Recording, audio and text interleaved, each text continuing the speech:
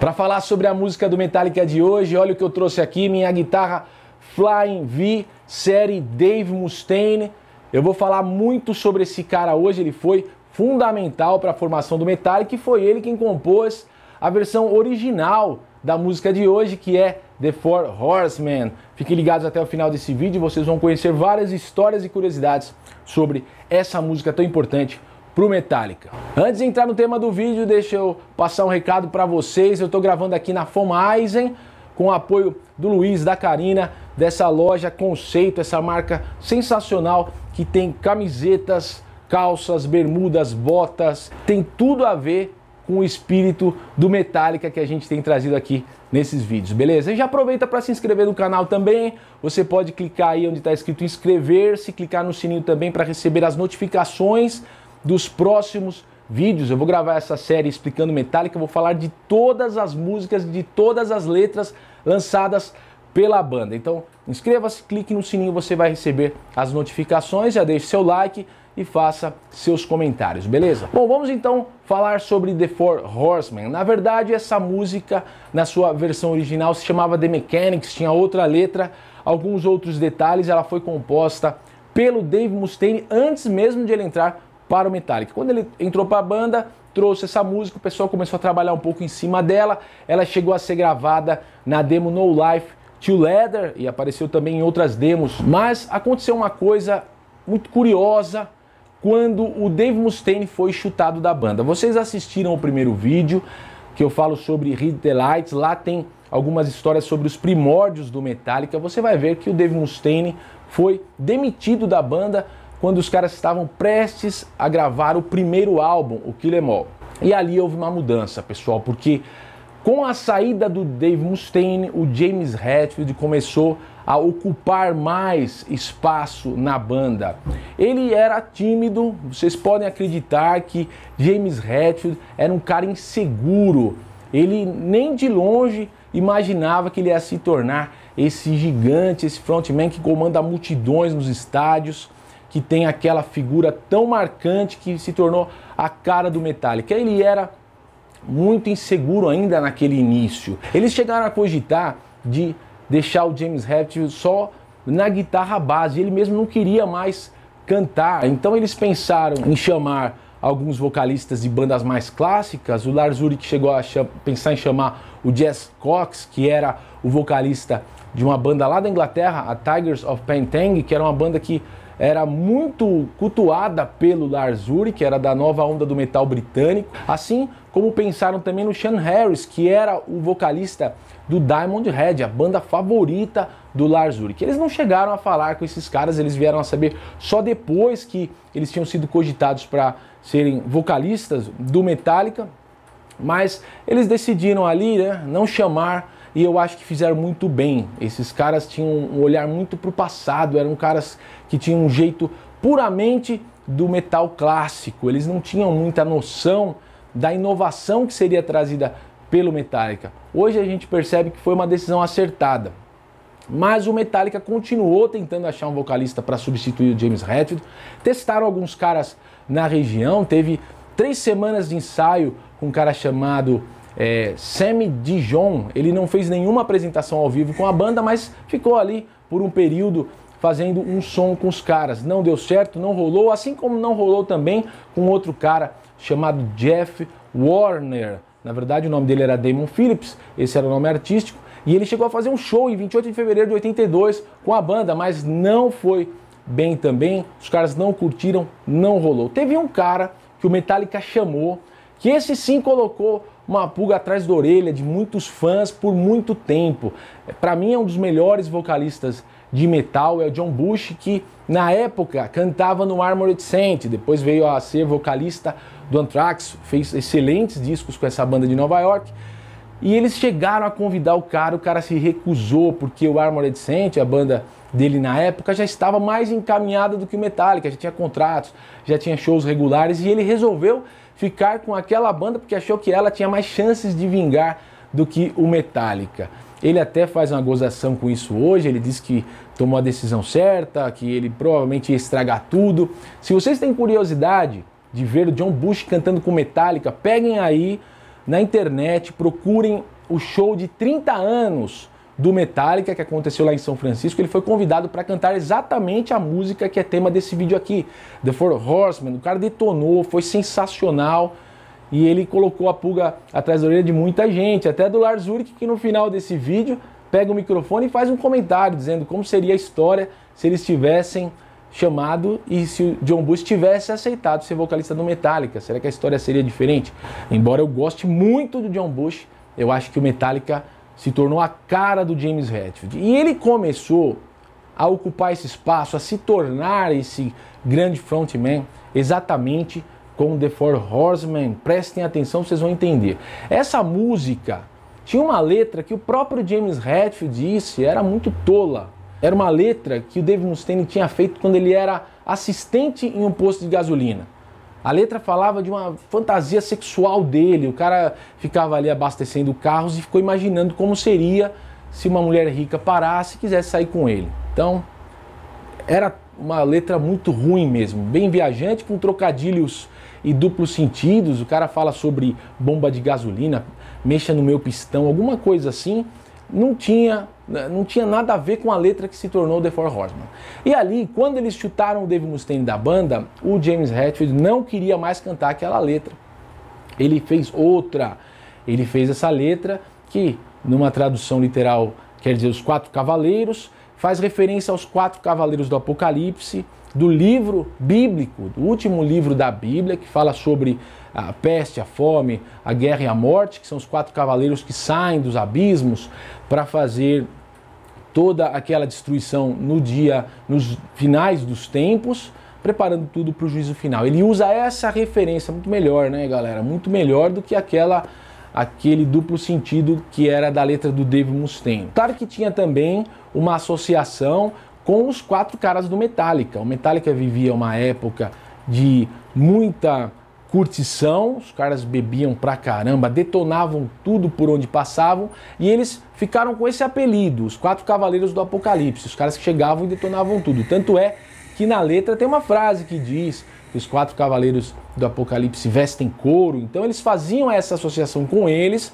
mas tinha muito da referência bíblica também, até porque o James Hetfield tinha um conhecimento ainda que superficial, mas algum conhecimento sobre a Bíblia, porque o pai dele, Virgil Hatfield, era professor de escola bíblica dominical, eles eram é, fervorosos seguidores daquela religião chamada ciência cristã, e o James Hatfield acompanhava o pai nessa escola bíblica dominical e conhecia um tanto ali sobre esse ensino religioso. Essa experiência do James Hetfield com religião não é agradável, durante todo o tempo ele já fez pesadas críticas, até porque passou um trauma grave. Essa religião pregava que não é permitido, não é adequado procurar a medicina. Sempre que alguém fica doente, precisa confiar apenas na oração. E a mãe do James Hetfield, Cynthia Hetfield, ficou com uma doença grave e os caras não procuraram médicos, não deram tratamento para ela, tratamento adequado para curar aquela doença. E a moça foi definhando e veio a falecer, e isso traumatizou muito James Hetfield. Ele era um garoto, era é, um adolescente ainda, estava entrando na adolescência, e ele ficou muito traumatizado com essa história, já falou muito sobre isso. Tem letra do Metallica que fala sobre essa experiência, que chama The God That Failed, que está no, no Black Album, né, o Deus que falhou. Se você pegar até no disco mais recente, no Hardware to Self-Destruct, ele faz a música Hail on Fire, que é uma música que critica a hipocrisia que existe na sociedade como um todo, mas em especial nos círculos religiosos, essa hipocrisia moralista. E ali, já no início do Metallica, o James Hetfield já começava a abordar esse tema na The Four Horsemen. Ele mudou essa letra, a letra ficou muito mais interessante. Pensem que antes tinha ali algo como mexa nos meus pistões, eu vou bombar minha, minha mangueira em você, alguma coisa assim, para uma letra falando sobre os quatro cavaleiros do Apocalipse, que no final do refrão tem uma frase que eu sempre uso por aí, que é or choose your fate or die, ou escolha seu destino ou morra, que fala sobre o livre-arbítrio, muito mais interessante, né? Mas não foi só na letra que o James Hetfield mexeu, que mostrou o gigante que ele se tornaria à frente do Metallica. Na parte musical, James Hetfield trouxe também algumas melhorias. Não só ele, a banda como um todo, mas o James Hetfield traz ali uma característica que é muito importante. Ele traz aquela paletada abafada. Parece que é um detalhe, mas isso caracterizou muito o som do Metallica, tornou a música muito mais pesada. Ele não inventou isso, outras bandas já faziam, até pessoal do rock clássico já fazia. Você vê ali em, em, várias bandas antigas, bandas da Inglaterra, ali da nova onda do metal britânico, você vê Judas Priest já fazia. Mas o James Hetfield aplicou essa técnica de uma maneira tão intensa e tão precisa que a música do Metallica ficou muito mais pesada. E isso foi determinante, essa postura do James Hetfield de se colocar artisticamente mais nas músicas do Metallica foi determinante. Quando a música era tocada ainda com o Dave Mustaine, ela era mais rápida, ela parecia que ficava um pouco mais apressada.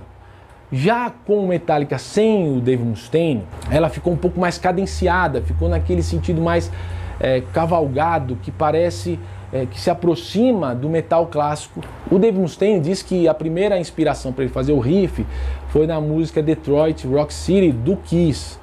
Mas era uma música muito acelerada. O próprio Dave Mustaine, nos seus solos, ele tem muito mais aquele estilo shredder, né? Aqueles caras que ficam detonando várias notas, arpejando várias notas, querendo ser o mais rápido possível.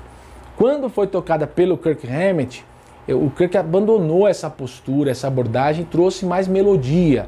O Dave Mustaine não era muito ligado em melodia. O Kirk Hammett já procura mais a melodia na música. Isso trouxe um ganho de musicalidade para o próprio Metallica, para a banda, inquestionável. A banda já conseguia mostrar no seu primeiro disco, e principalmente nessa música, do que eles seriam capazes de fazer, da possibilidade artística que eles tinham. Já ali no Kill Em All, na The Four Horsemen, isso já fica muito claro. É uma música que muda bastante de andamento, tem uma certa complexidade, ainda mais se a gente pensar que os caras tinham em torno de 20 anos de idade, né? eram muito jovens. E a banda conseguiu fazer essa demonstração de uma capacidade, de uma musicalidade muito maior do que tinha na demo No Life to Leather. Não só o James Hetfield, né, com essa essa técnica chamada palm muted, paletada abafada, o cara pega, né, pegando aqui a guitarra, o guitarrista segura aqui, abafa com a mão aqui na ponte e dá a paletada abafada. E isso fica muito mais pesado, isso caracteriza o heavy metal, mas ainda o thrash metal. E o Metallica fez isso muito bem. Mas os outros caras da banda também apareceram é, trazendo muito mais valor para aquela música. O Kirk Hammett passou uma semana produzindo seus solos durante a gravação do Kill Em All. A banda ficou seis semanas lá gravando o disco. Uma semana foi só dedicada para os solos do Kirk Hammett. E como eu disse, ele abandonou a necessidade de ser rápido. Ele trouxe mais é, melodia para a música. Naquela influência de Michael Schenker, o ex-guitarrista do Scorpions, do UFO, e que ali naquela época estava numa carreira solo. O Kirk Hammett gostava muito desse estilo, ele aplicou ali. Ele estava tendo aulas com Joe Satriani, buscando técnicas mais refinadas. Ele gostava muito de Jimi Hendrix. Então ele fugiu um pouco daquela necessidade dos caras ali de São Francisco, em que as bandas queriam disputar qual era a mais rápida, a mais violenta. O próprio Dave Mustaine disse que quando ele saiu do Metallica, ele, ele queria sangue, né, o sangue dos caras. E ele queria competir tanto com o Metallica que ele montou o Megadeth e ele diz que ali ele ia fazer uma banda mais rápida, mais brutal, mais violenta do que o Metallica. E o Metallica nem deu bola para isso. Desde aquela época, os caras já demonstravam que não iam atender muito às expectativas dos outros, que eles iam fazer o que eles achavam que seria o correto. Então eles deram uma amansada, vamos dizer assim. A música, claro, é uma música de thrash metal, ela é agressiva também, mas ela, ela é mais cadenciada. E mais ainda, pessoal, eles acrescentaram uma, uma parte na música que não tinha na original do Dave Mustaine. Eles acrescentaram uma parte cadenciada, que é muito na cola de metal clássico. E ali o Kirk faz o seu solo com muita melodia nessa escola do Michael Schenker, de caras mais clássicos. Então Metallica soube trabalhar muito bem suas influências, soube beber em fontes do metal clássico, mas soube trazer tudo isso para uma visão muito pessoal que inovou dentro do heavy metal, criando um novo subgênero, o thrash metal. E o que falar também do Cliff Burton ali, galera. Se você ouve essa música prestando atenção nas linhas de baixo, você vai admirar ainda mais o, o mito do Metallica que é o Cliff Burton. Sensacional o que o cara faz. O cara não fica só seguindo a guitarra como o Ron McGovney fazia, o ex-baixista. Não, ele traz toda uma riqueza que é sensacional. O baixo sempre fica, né, parece que fica meio escondido em muitas das músicas, em músicas de metal, o baixo às vezes se esconde atrás daquela massa de guitarras, mas com o Cliff Burton isso não aconteceu. Me lembra muito o que o Geezer Butler fazia no Black Sabbath, e claro, ele tinha grande influência do Leme, do Motorhead. Você pode perceber também alguma abordagem ali parecida com o Steve Harris, parecida levemente, mas de ocupar muitos espaços com baixo. A gente sabe que o Lars Ulrich é muito criticado, ele, ele tem um papel fundamental. Vejam aí o primeiro vídeo, eu já falo disso, sobre o Hidelights, vou colocar em algum lugar aqui. Ele tem um papel fundamental no sucesso do Metallica, mas os outros músicos, os críticos de revistas especializadas costumam criticá-lo, dizendo que ele não tem tanta técnica e tudo mais. Se a gente pegar a música do Metallica, a gente vai ver que o Lars Ulrich não toca marcando o tempo apenas, como um baterista tradicional. Ele é baseado em viradas, ele fica ocupando os espaços da música, jogando nos tons, nos pratos, caixa e bumbo, fazendo viradas, tercinas, e ele ocupa o espaço. E os produtores dizem que ele tinha uma dificuldade em manter o ritmo. Né? Ele não fazia aquela aquela técnica de ficar ali na maior parte do tempo no chimbal, caixa e bumbo, mantendo o ritmo, sendo o relógio da banda. E ele tinha essa dificuldade, os produtores contam.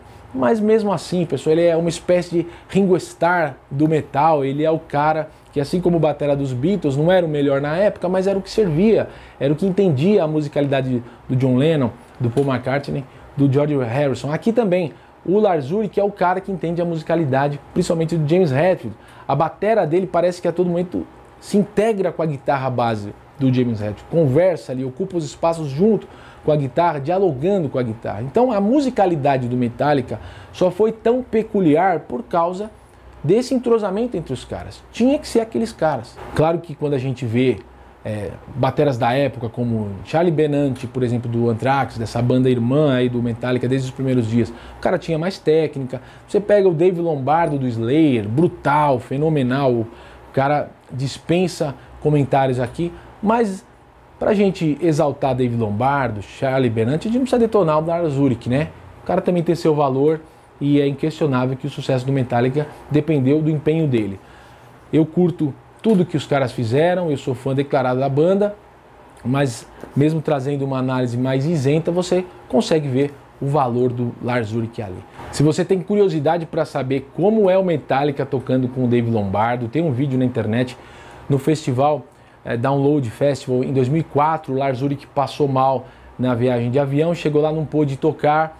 O, a época, a batera do Slipknot tocou uma parte do set list e o Dave Lombardo tocou algumas músicas, inclusive The Four Horsemen. Você pode ver como é Dave Lombardo no Metallica.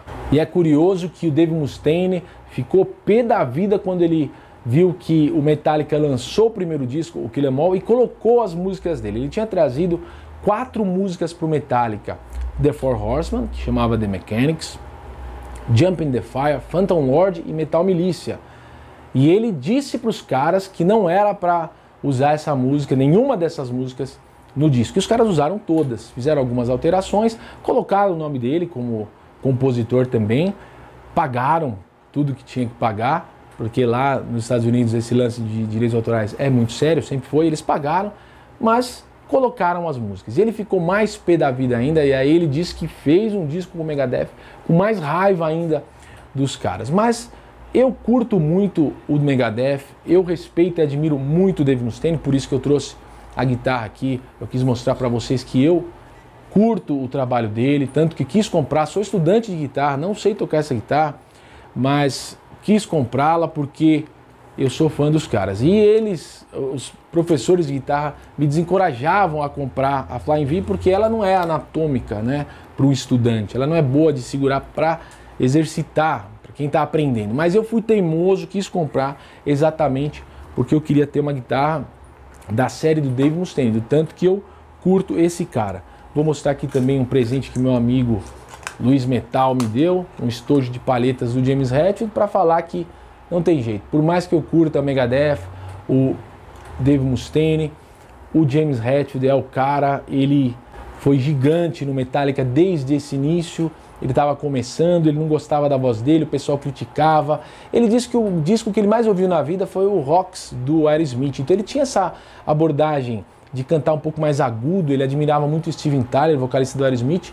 Mas é, depois ele foi se desenvolvendo e o cara se tornou esse frontman gigante que ditava tendências. Você pega na época do Black Album, se o James Hetfield aparecesse com uma bandana roxa na cabeça num dia, no dia seguinte milhões de jovens nos Estados Unidos estariam usando a mesma bandana que ele. Foi muito influente, principalmente na época do Black Album, até hoje ele é, mas já foi mais, já teve essa projeção na cultura dos Estados Unidos.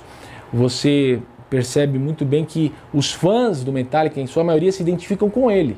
Né? Ele é a cara do Metallica. Então, eu creio que o Dave Mustaine tem seu valor, é muito talentoso, ajudou o Metallica a ser formado, mas não tem jeito. Quando o James Hetfield ocupou esse espaço, ele demonstrou maior talento, um talento absurdo.